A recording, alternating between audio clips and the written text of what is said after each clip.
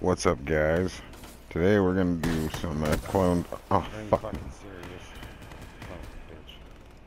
So, we uh, decided to all start cloning in a four-member team.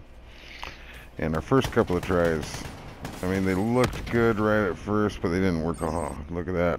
Didn't work out so well.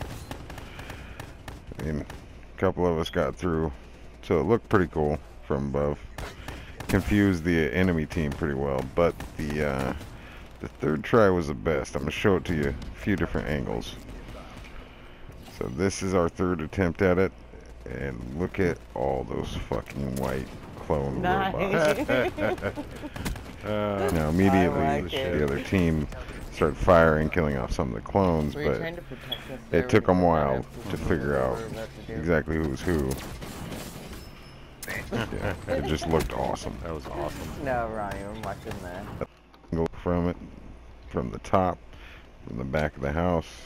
Uh, I believe this might have been the first try, actually. Yeah, that's where I died.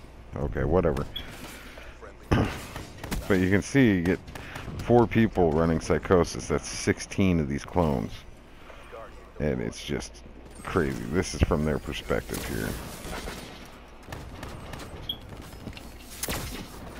Couldn't figure out which one to shoot until they got it. But well, I want to thank you guys for coming and watching. It's been Ron with RC360. Like, subscribe, comment, and share. And I hope you have a good day. All right.